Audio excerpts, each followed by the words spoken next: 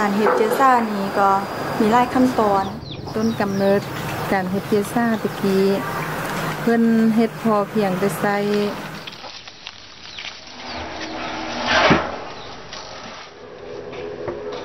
หลังจากนั้นปี2001 2002นี่แหละแขกเริ่มเข้ามาล่าคือแลตั้งตลาดมือนะ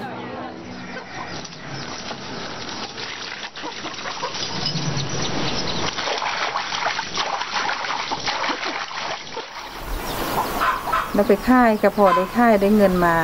ส่งลูกเหียนหนังสือเนาะแล้วก็มาใส่ใจประจำวัน